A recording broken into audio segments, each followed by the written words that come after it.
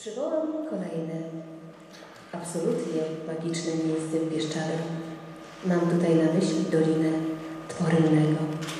Z jednej strony Otryt, z drugiej strony San i pusta, absolutnie przepiękna dolina, w której bezsprzecznie rządzi tylko przyroda.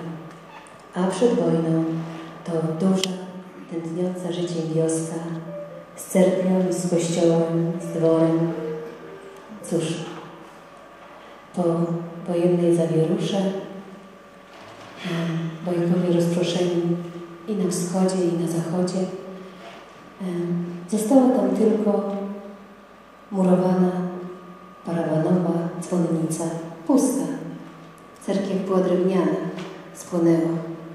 Z opowieści wiem, że wojsko polskie tam wnosiło e, snopy siana, żeby się mogło szybciej spalić. Każdy miał na uwadze, żeby ten Bojko już do siebie nie wrócił.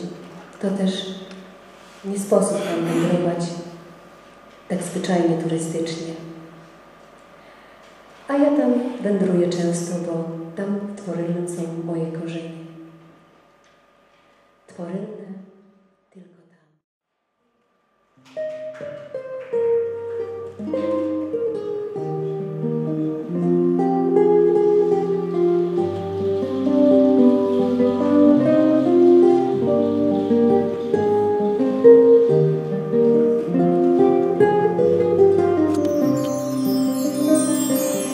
Jest takie miejsce, wiem, że tylko tam, gdzie dzwonnica głucha, otulona w chmury, bez żalu, odnajdziemy się tam.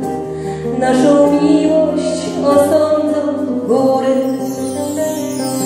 Może właśnie zrywasz barwinkowy kwiat, tuż przy mnie, choć nic o tym nie